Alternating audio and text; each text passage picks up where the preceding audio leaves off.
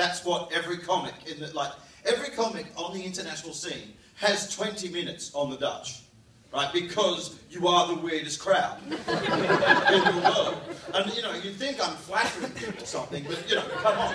Do you honestly think like comedians on the international scene have 20 minutes on fucking Sweden? No.